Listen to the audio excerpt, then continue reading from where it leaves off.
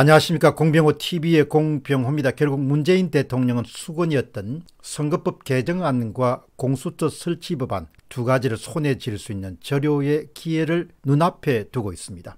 고위공직자 범죄수사처 이른바 공수처 설치법은 30일 본회의 포결을 앞두고 있습니다. 사실 옳고 그름이란 그런 잣대에서 미루보면 은 절대로 통과되어서는 안 되는 법입니다.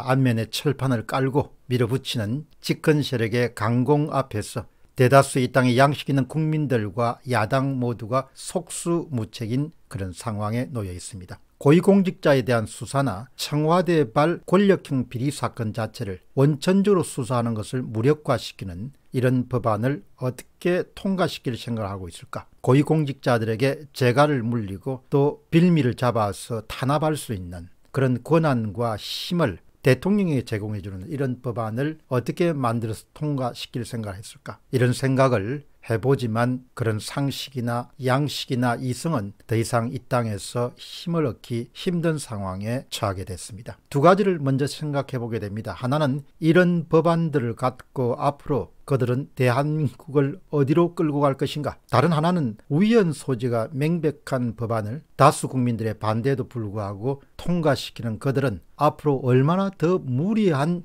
그런 조치들을 취할 수 있을 것인가 이런 점을 걱정하게 됩니다. 첫 번째 질문은 공수처 법안 국회 본회의 표결입니다. 30일 본회의 통과를 앞두고 있는 단일화는 4 플러스 협의체가 합의한 안입니다. 이 합의한 안에는 슬쩍 들어갔지만 엄청난 위력을 발휘할 수 있는 제24조 2항 다른 수사기관과의 관계라는 항목이 들어있습니다. 수사기관, 검찰이나 경찰 등이 고위공직자 범죄를 인지하였을 때 공수처에 지체 없이 즉각 통보한다. 그런 독소조항이 포함되어 있습니다. 이 조항으로서 말미암아서 검찰이나 경찰은 더 이상 고위공직자 범죄 수사가 불가능해집니다.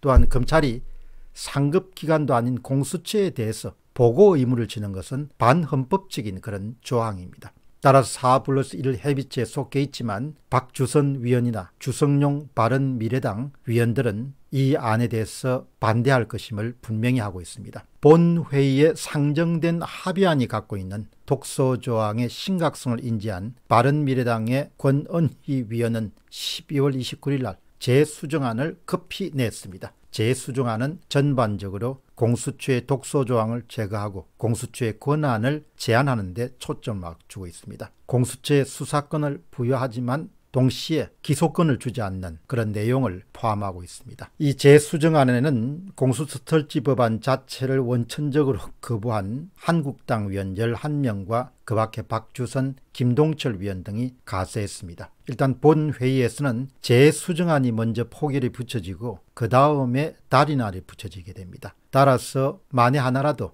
본회의에서 권은희 위원이 대표 발의한 재수정안이 가결되면 자동적으로 4 플러스 1 협의체의 단일화는 폐기됩니다. 현재로서는 재수정안이 통과될 가능성보다도 단일안이 통과될 가능성이 훨씬 높습니다. 집권 여당은 단일안을 강력히 밀어붙이고 있습니다. 너무나 큰 이득이 있기 때문입니다. 더 이상 집권 기간 동안에 청와대발 권력형 비리 사건이나 어떤 종류의 비리 사건들도 원천적으로 차단시키는 그런 법안이기 때문에 너무나 그들에게는 이익이 크고 매력적입니다. 그러나 심재철 국회의원은 집권 여당을 제외한 군소정당에게 아주 강력하게 경고하기도 하고 설득하기도 합니다. 그것은 군소정당을 이용해 먹은 다음에 그 다음에 반드시 연동형 비례대표제의 선거 과정에서 민주당이 비례민주당을 만들어서 비례한국당에 대항할 것이기 때문에 군소정당들은 다 이용만 당하는 그런 상황이 놓일 것이다. 이렇게 경고합니다.